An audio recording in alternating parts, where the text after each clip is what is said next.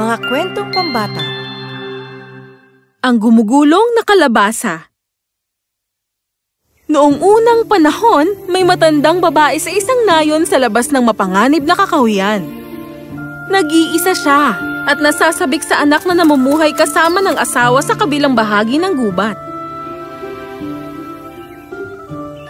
Isang araw nang hindi makatiis ang matandang babae, nagpa siya siyang bumisita sa anak.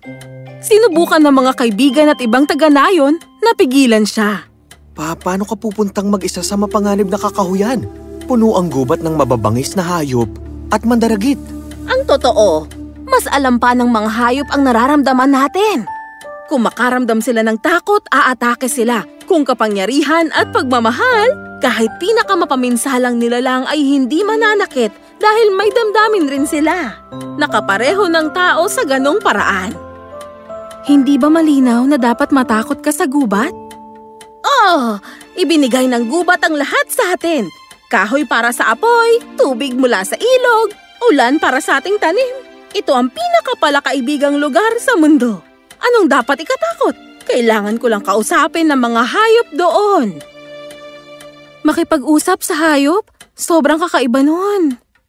Tulad ng sinabi ko, maaaring hindi nila naiintindihan ang sinasabi ko. Pero, naiintindihan nila ang nararamdaman ko. At sumasagot naman sila ng naaayon. Pero bawat mandaragit ay kailangang kumain. Hindi nila gagalawin kung makikiusap ako sa tamang damdamin na mayroon ang mga hayop. Tulad ng sabi ko, para rin silang mga tao na may parehong lakas at kahinaan. Huwag kang mag-alala sa akin, makakabalik ako ng ligtas. Dapat ka ba naming samahan? Maraming salamat, ngunit kaya ko ang sarili ko ng mag-isa. Kaya kinabukasan, umalis ng nayon ang matanda patungong bahay ng anak. Tinahak niya ang gubat at walang oras na hindi niya naririnig na umaalulong ng malakas ang lobo. Bago pa niya nalaman, nakatayo na ang lobo sa harapan niya. Mukhang galit na galit at gutom. Matandang ginang, gutom na gutom na ako. Kailangan kita para sa pagkain ko. Mahal kong lobo, nakakalungkot nang nagugutom ka. Ngunit, tingnan mo ako. Napakapayat ko at mabuto. Tulad ng isang matanda. Masisiyahan ba sa akin ang malaki at malakas na mga ngason tulad mo? Pero kailangan kong kumain kahit hindi masarap ang pagkain, di ba? Bakit di ka maghintay ng isang linggo para sa akin? Pupunta ako sa bahay ng anak ko. Pakakainin niya ako ng masasarap at masusustansyang pagkain at siguradong sa madaling panahon, malaki pa ang ibibigat ko. Pwede mo na akong kainin nun. Sige na, palampasin mo na ako. Sa ngayon, ikaw ang makapangyarihang lobo. Ang pinunong mangangaso ng gubat. Madaling makakahuli ng ibang hayop at sa loob ng isang linggo, pag kinain mo na ako, mas masarap ako at malinamnam. Parang ayos nga yan. Sige, palalampasin na kita. Kaya pinalampas ng lobo ang matandang babae. Makalipas ang ilang oras, narinig ng matanda ang umaangil na tigre. Ngumiti siya habang tumalon ng tigre sa harap niya.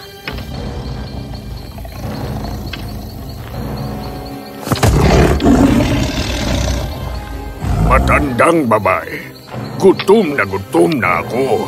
Kailangan kitang gawing pagkain. Mahal kong tigre, nakakalungkot na marinig na nagugutom ka. Pero tingnan mo ako, napakapayat ko at puro buto. Tulad ng matandang babae, paano masisayahan sa akin ang makapangyarihang tigre? Bakit na kahit ang isang lobo na mas mababang uri sa iyo ay ayaw sa akin? Kahit ang lobo ay ayaw sa'yo. Alam mo na nakatira ang lobo sa baba lang nito. Di ba't una siyang makakakita sa akin? Sige, tanungin mo siya. Kahit siya ay napapayatan sa akin at ikaw, ikaw na mas makapangyarihang tigre, mas malaki at mas dakila kaysa sa lobo, ang kakain sa akin? Nararapat sa'yo ang mas malaking handa, hindi ba? Bakit di ka maghintay ng isang linggo pa sa akin? Papunta ako sa bahay ng anak ko. Pakakainin niya ako ng talagang masasarap at masusustansyang pagkain. At siguradong di magtatagal ay bibigat pa ako. Mas masarap at magiging malinamnam. Pwede mo na akong kainin nun bago pa mauna ang lobo sa akin. Sige na, palampasin mo na ako. Parang ayos nga yan. Sige, palalampasin na kita. Nararapat sa akin ang mas masarap na pagkain.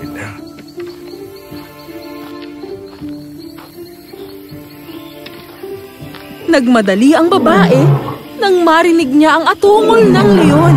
Biglang lumabas ang leon mula sa halamanan. Matandang babae, gutom na gutom na ako. Kailangan kitang gawing pagkain. Oh, mahal kong leon. Nakalulungkot naman na marinig na nagugutom ka. Pero pagkain ako na hindi nararapat kahit sa kawawang lobo o kahit sa tigre. Kung hindi nila ako kinain, papaanong ikaw na makapangyarihang leon, ang hari ng kagubatan, ay magpapakababa na kainin ako? Sa tingin mo? Talaga? Ultimo ang tigre at yung lobo ay pinalampas ka at hindi ka kinain? Buhay ako na nakatayo sa harapan mo, hindi ba? At alam mo kung saan nakatira ang tigre at ang lobo. Siyempre alam nila na masyado ako mabuto para sa panlasa nila. Bakit di ka maghintay ng isang linggo sa akin? Papunta ako sa bahay ng anak ko.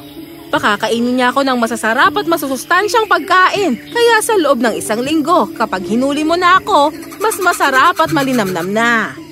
Mukhang magandang ideya nga yan. Sige, palalampasin na kita. Nararapat sa akin ang mas masarap na pagkain.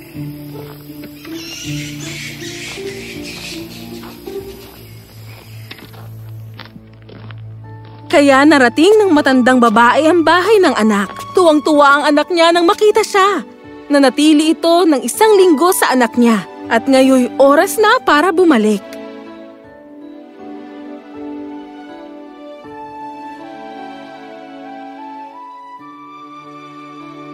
Inay, bakit nag empake ka na kaagad?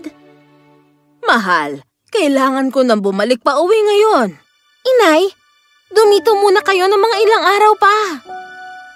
Nasasabik na akong umuwi, anak. May ipapagawa lang ako sa iyo bago ako umalis, pakiusap. Kahit ano pa yon, inay. Ikuha mo ako ng pinakamalaking kalabasa. Nakakita ang anak niya ng sobrang laking kalabasa at inalis nila ang laman nito at ang matanda ay pumasok sa loob. Pinagulong ng anak niya ang kalabasa sa gubat at nakalampas sa harap ng leon ang kalabasa. Uy, kalabasang gumugulong. Nanggaling ka ba sa nayon? Oo, leon? May nakita ka bang matandang babae doon? Pabalik na siya dapat ngayong oras na ito. Anong klasing tanong ng hari ng kagubatan ba yung tanong na yan? Sa palagay mo ba kaya ng matandang babae na sumakay sa isang kalabasa? Hintayin mo na lang siya dito. Nagbibiro lang naman ako. Alam ko namang hindi maaaring sumakay ang babae sa kalabasa. Oops, pasensya. Gulong na kalabasa. Ang kalabasa at ang matanda ay nagpatuloy sa paggulong sa gubat hanggang pinatigil ito ng tigre. Hoy, kalabasang gumugulong. Nanggaling ka ba doon sa nayon? Oo, tigre. May nakita ka bang matandang babae doon? Pabalik na siya dapat ngayong oras na ito. Anong klasing tanong ng hari ng kagubatan ba yung tanong na yan? Sa palagay mo ba kaya ng matandang babae na sumakay sa isang kalabasa? At kung kaya man niya, hahayaan ba siyang gumulong na makapangyarihang leyon? Nakakatawa ka naman. ah, ah, tama ka. Nagbibiro lang ako. Alam kong hindi kayang sumakay ng matanda sa kalabasa. Gulong na kalabasa. Sige na, girl. At ngayon, nasa teritoryo na ng lobo ang gumugulong na kalabasa. Hoy, kalabasang gumugulong. Nanggaling ka ba doon sa nayon? Oo, lobo? May nakita ka bang matandang babae doon? Pabalik na siya dapat ngayon sa oras na ito. Anong klasing tanong ba yung tanong na yan, ha? Sa palagay mo ba kaya ng matandang babae na sumakay sa kalabasa?